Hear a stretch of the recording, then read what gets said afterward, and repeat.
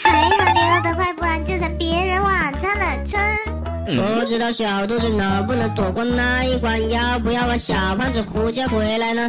好呀，原来是你和小弟联手坑我来的，快放我回去，不然让你体验一下什么叫兔子急了也会咬人。既然你知道事情的真相了，我也不妨告诉你，回去的火箭燃料已经被小胖子用完了。那你刚刚怎么用手把它呼叫回来？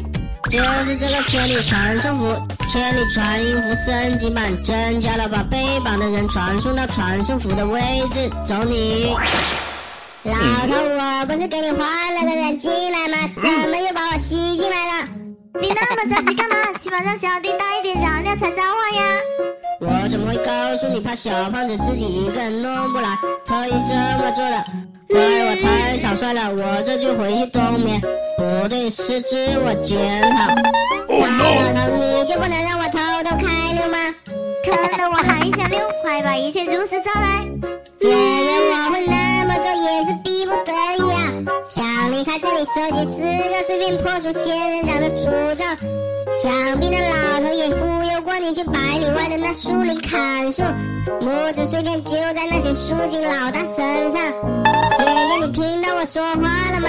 木子碎片在树精老大身上，那还在等什么？快走呀！姐姐，你确定你不是被火气冲昏了头呢？百年树精我们都对付不了，在万年树精面前哪有我们容身之地呀？你除了看我花样，最多还有什么本事嘛？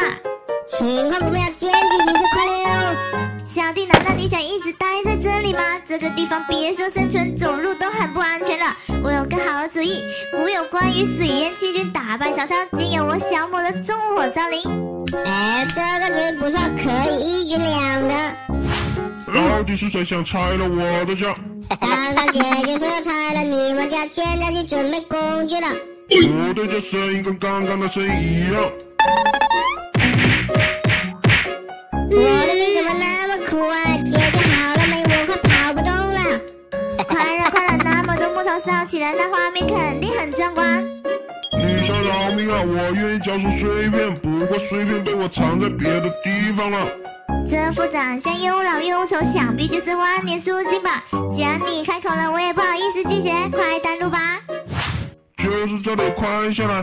哈哈，对敌人仁慈就是对自己残忍，难道这道理你都不懂吗？不讲，啊